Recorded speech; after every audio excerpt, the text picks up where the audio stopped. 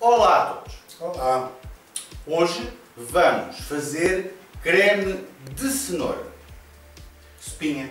Espinha. Espinha de creme de cenoura com couve, coração e E grão. não tem massa. Não, tem- não tem massa. Não é espinha de massa. Não, é espinha sem ser de massa. Por isso, para fazermos esta sopa, vamos necessitar de Não é muita coisa. A primeira de todas há de ser água para a panela. Ah.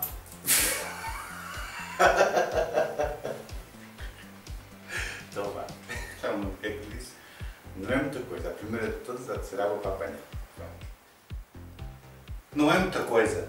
A primeira de todas há de ser água para a panela. Claro. A seguir, como é creme de cenoura, vão ser cenouras. Claro. 1 kg de cenouras. Tantas. 1 kg. Que é para fazer creme. Estas só não têm 1 kg. Tem que se acrescentar mais. Isto é só para Pesa. mostrar. Pesa. Não acreditem nas duas cenouras que ele mostrou. Pesa. São Um mais, são um mais. quilo. 1 kg de cenouras. Também vamos necessitar de uma couve coração.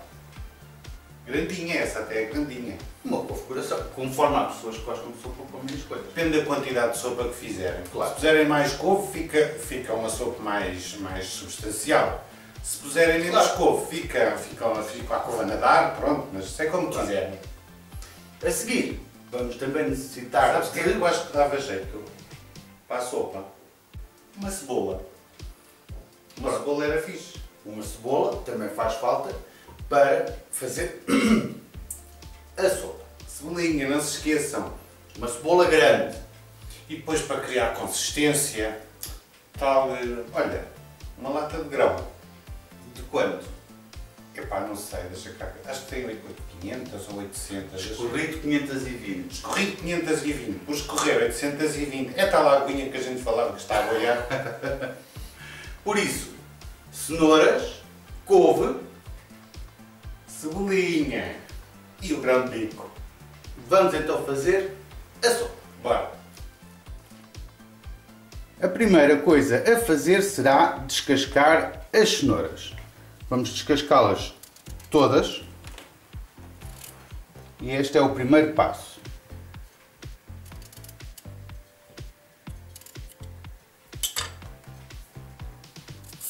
Primeiro cortas os cabecinhos e os rabinhos. Sim.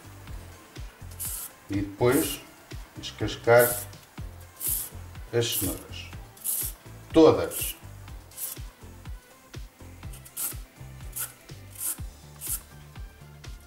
E as cenouras já estão descascadas. Cortámos-las ao meio para que cozam mais depressa, porque a cenoura demora um bocadinho a cozer. Entretanto, vamos descascar a cebola.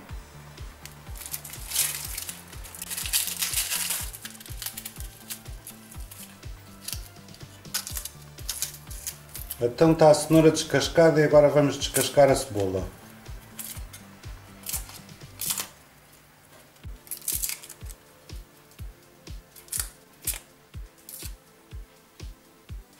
Ora então, temos agora as cebolas, as cebolas, as cenouras e a cebola descascadas.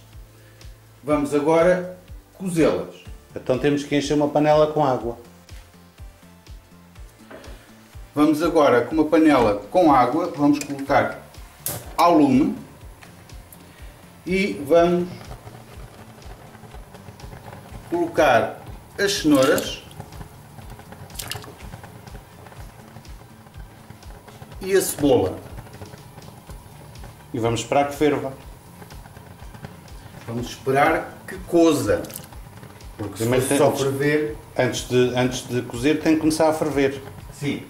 Deixar ferver e depois cozer. Atenção que as cenouras demoram um bocadinho mais do que as batatas a cozer.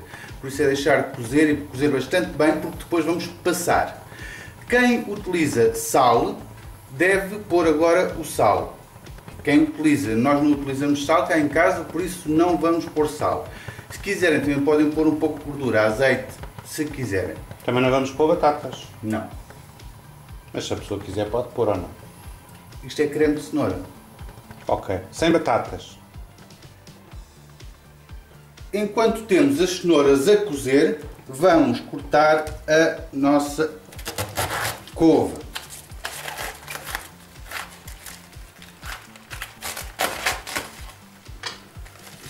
Tudo legumes fresquinhos. E vamos cortar em juliana grosseira.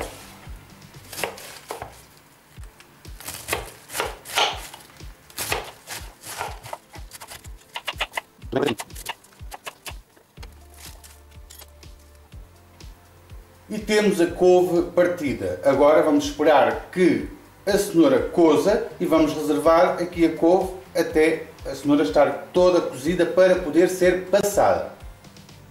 Já está a cenoura toda cozida, vamos agora passar e passar tudo muito bem para fazer um puré.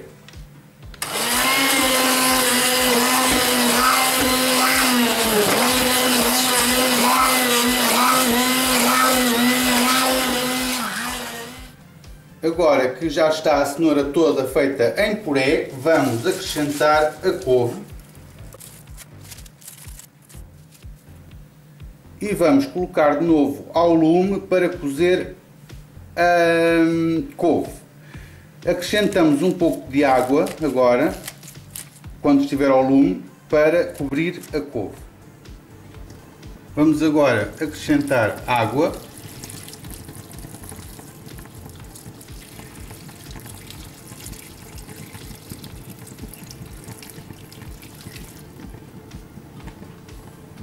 e deixar a couve cozer.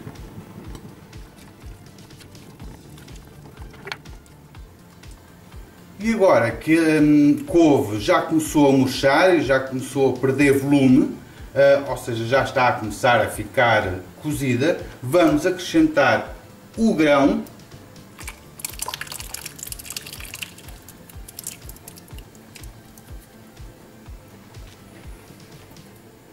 e deixar a cozer mais ou menos uns 20 minutos e fica pronta.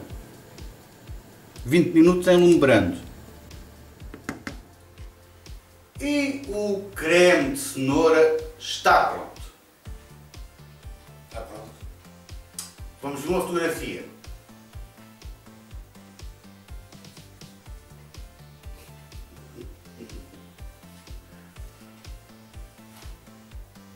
Espero que gostem. Uma nota especial. Duas conchas normais de creme de cenoura com couve coração, com couve coração, não é? Couve coração. Sim. E grão tem 60 calorias. Vamos começar agora a contar das calorias. Por mim até podiam ter 6 mil. Eu não as conto, por enquanto. Mas tem pouquíssimas calorias, por isso enche é uma boa sopa, porque é consistente. Isto quer dizer que o jantar hoje vai ser espinha.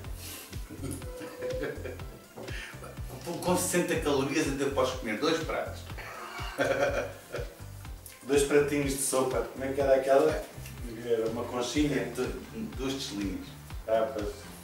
E comeste muito, duas, duas. Espero que tenham gostado. Se gostaram, já sabem, like no vídeo. A receita completa vai estar no blog, como sempre. Subscrevam o nosso canal e partilhem. Partilhem com toda a gente, para que toda a gente saiba fazer esta sopa fácil, muito fácil e com tão poucas calorias. Eu hoje estou em greve, não tenho nada para provar, no dia da comida não há prova, há greve. Mas já provaste ou vais provar?